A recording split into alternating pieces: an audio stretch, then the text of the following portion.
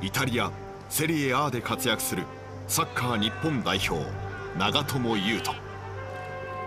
彼がサッカー人生の礎を築いてくれたと感謝する場所がある。それは東福岡高校サッカー部。日本代表選手を輩出してきた名門だ。ここでの3年間について長友は。もがいてもがいてもがき抜いた3年間はその後の僕にとって何よりの財産だった。全国優勝6回。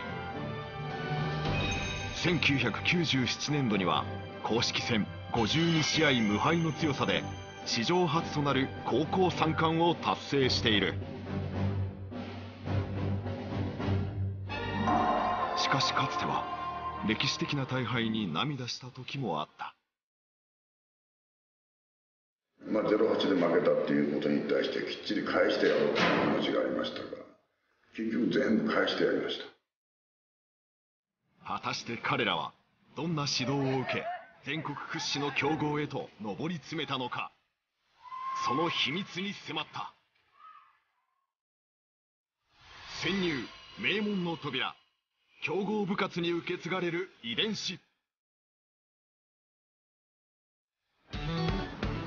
九州一の繁華街福岡市博多区。この町に私立の男子校東福岡高校はある。サッカー部は日本代表の長友や本山など多くのプロ選手を輩出。今年8月のインターハイでは全国屈指の強豪市船こと私立船橋を PK 戦で破り連覇を成し遂げた。強豪東福岡。その扉の奥に隠された強さの秘密とは。サッカー部の創部は1968年。スピーディーなパス回しで相手を切り崩しゴールを奪うのが伝統だ。現在選手たちには大きな目標がある。3冠目標にしててプレミアも位置つけてて選手権もまだまだ全然優勝できる力はあると思うのでインターハイ取れたんでやっぱ同園君3冠っていうのを目指してますね。3つの大きな大会がある高校サッカー。夏の王者を決めるインターハイ J リーグのユースチームも参加する高円宮杯。そして集大成となる冬の選手権だ。この栄誉ある三冠を18年前に唯一成し遂げているのが東福岡。今回2度目の快挙を目指している。目下の目標は東西に分かれたリーグ戦の優勝チームが日本一を争う高円宮杯。2試合を残し東福岡は西地区の3位につけている。チームを率いるのは森重純也監督。コーチ時代にはあの長友を育て上げた。そして40年以上チームを指導してきたのが志和義則総監督。取材を始めて間もなく総監督がある場所に案内してくれた。これが要するに例えば水泳とかね、えー、まあ他のところのスポーツこれ卓球ですね、でこうやってずっとこちらもそうです。陸上とか。そういうのがこうありますね。校舎の一角にある賞状とトロフィーだらけの道その名もビクトリーロード。実は東福岡はサッカー部だけでなくあらゆる部活が全国トップレベルなのだ。強さの秘密その1熾烈な競争意識。去年はラグビー部とバレー部が高校3冠を達成。インターハイを制したサッカー部の優勝旗でさえ目立たないほど。学校の中でのやっぱり戦いっていうのはまあある意味では暗黙の上でねありますね。サッカー部の隣で練習するのはラグビー部。この冬は6度目の花園制覇へ向け熱が入っている。いろいろな部活の中でやっぱり考えていることとか高いレベルの話が勉強になるな。そして春高バレー連覇を狙うバレー部。彼らもまた強い競争意識を持って練習に励んでいる。それに刺激を受けて自分たちも頑張らないといけないといつも思他の部の活躍はサッカー部にも刺激となっている。今年は自分たちはもう弱い弱い言われてて、まあ、そこはもうみんなちょっと意識して絶対もう黙らせてやろうっていう気持ちでやってきてで今こういう結果が出てきている。ので、まあ、これは続けていきたいと思います部活間の激しいライバル意識がおのずと選手たちに勝利への強い意識を植え付けている。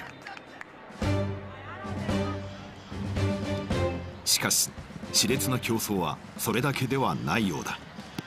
練習に汗を流すサッカー部員たち。すごいねブランドどんだけ持ってんの？ここに強さの秘密があるというのだが果たしてそれは？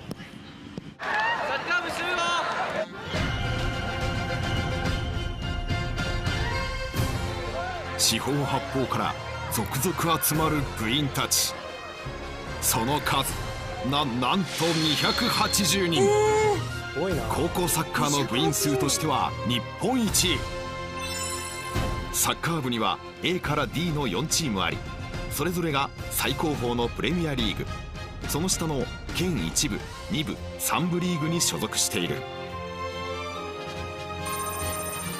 あまりの大所帯故に部員の練習着にはポジションとともに大きく名前が。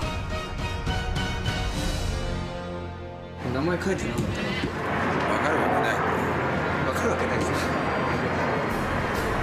笑い事じゃないけど本当は覚えなきゃいけないし自らいろんなグループ回ってやっぱり A チームでやってることとか求められてることっていうのは伝えたい。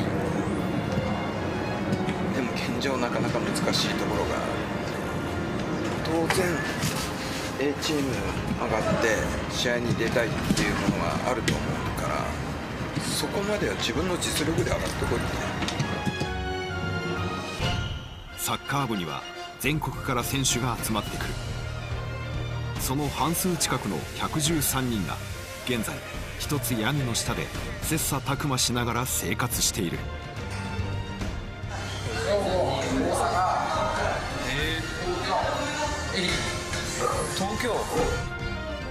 中学時代チームの中心だった選手がここではレギュラー争いを繰り広げている。もう3年なんで、まあ、ペイペイされるまあ僕は負けませんよ。僕は負けません。3年生だろうと、まあ、2年生が出ても関係ないんで。やっぱり下からの押し上げっていう部分に負けないでやっぱ自分たちもレベルアップしていかないとっていう気持ちも強くて本当いい緊張感の中で練習できてる。あまりの層の厚さにあの長友ですら12年の時はレギュラーになれなかったという。今では世界で戦う選手に成長。長友はどのようにして這い上がっていったのか。彼本当休まなかったよね。休まないっていうのはどういうことかっていうと例えば、まあ、シュート練習をねする時にねドリブルシュートをこうやってシュート打つじゃないですか、そしたらシュートを打ったらさその後他の連中はまあジョギングしてそのボールを拾いに行ってこうやってジョギングしてまたここのところにこうこうやってローテーションするわけですよみんな。それ普通ですよね。でも彼はねドリブルやってシュートを打ちました。シュートを打ったらそのままトップスピードでゴールの方に行ってそのボールを拾ってトップスピードでここに戻るんです。だ普通の練習と同じなんです。みんなと同じ練習をやって。でも長友は人が要するに例えば1回やるときにはもうすでに彼は2回以上やってるんだっていうことです人の何倍も努力を積み重ね長友は3年でレギュラーに定着した。そしてここにも厳しい競争に打ち勝とうと努力を続ける選手がいる。熊本出身の2年生砂原一世。今年は主に B チームでプレーしているが A チームの試合にも控えのメンバー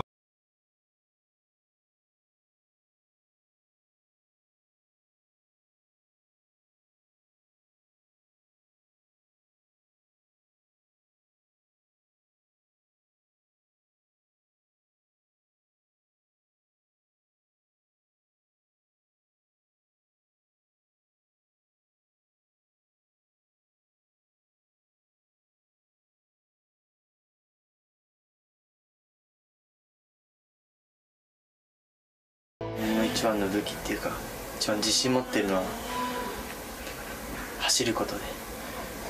サイドバックなんで。一番運動量いると思うんで攻撃もできるし守もできる選手になりたいです、彼が抱く大きな夢。それは日本一のサイドバックになること。強いの分かっててきたんですよ、まあ、自分がどれだけやれるかとか。本当にレギュラー取ってやるっていう気持ちで。部屋には。ダンベルとか置いてあるの？あああんま見てほしくないですね。えななんでですか？秘密ですね。主にこういう機内とか使ったりあのこのこれが足を上げて寝たら結構目覚めとか良くなるんでちょっと工